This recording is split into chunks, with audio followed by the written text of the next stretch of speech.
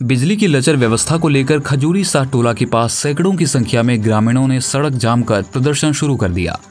सड़क जाम की सूचना मिलते ही बीडीओ शशि भूषण सुमन, अंचलाधिकारी निरंजन कुमार मिश्र, थानाध्यक्ष मनीष कुमार एवं पुलिस बल के जवान घटनास्थल पर पहुंचकर प्रदर्शनकारियों को समझाने बुझाने का प्रयास किया।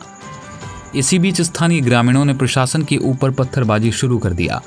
जिसमें लगभग एक दर्जन पुलिसकर्मी जख्मी हो गए।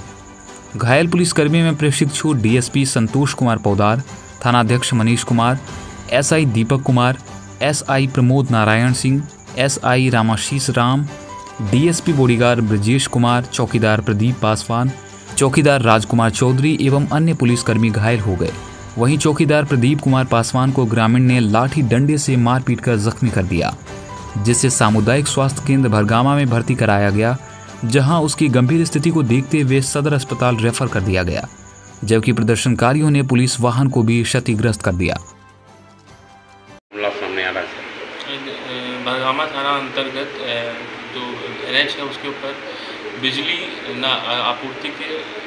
उसके लिए विरोध किया जा रहा था लोगों द्वारा और इसी क्रम में सड़क को जाम किया गया था। बरगामा थानाध्यक्ष और फोर्स इत्यादि वहाँ पर गया था तो आक्रोश में आकर उनके उनके द्वारा पत्थरबाजी की गई है और उसमें कुछ पुलिसकर्मी दो तीन पुलिसकर्मी घायल भी, घायल होने की सूचना मिली है, उनका इलाज करवाया जा रहा है और जो भी उसमें उपद्रवी थे उनके ऊपर कांड दर्ज कर हम लोग अग्रतर कार्रवाई करेंगे और उनकी जल्द से जल्द अरेस्टिंग भी करेंगे।